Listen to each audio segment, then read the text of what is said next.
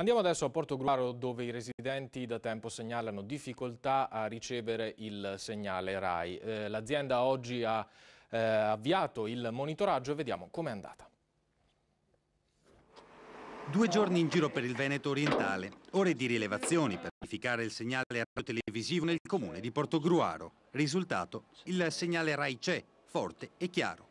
Eppure gli abitanti della zona, da quando l'Europa ha imposto il passaggio al digitale terrestre, segnalano problemi nel vedere alcuni canali del servizio pubblico. Il messaggio che è stato dato all'inizio come campagna pubblicitaria era che in questa svolta epocale non serviva eh, modificare e cambiare l'antenna, cosa che poi non si è verificato. Tutte le antenne, quasi tutte nella nostra zona, hanno avuto bisogno di intervento tecnico. I problemi sono diversi.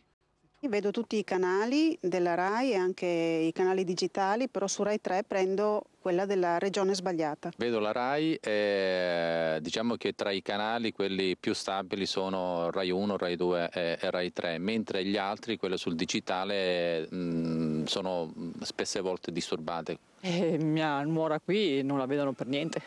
I problemi riscontrati a Porto Gruaro non dipendono da inefficienze dell'azienda, sottolineano i tecnici della RAI, ma dalla riassegnazione delle frequenze e dal fatto che molte antenne sono orientate verso il Friuli.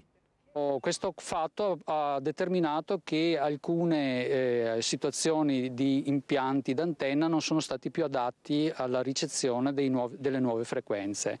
Per la, la, la, risoluzione è abbastanza semplice, anche se eh, onerosa ovviamente, bisogna modificare l'orientamento delle antenne.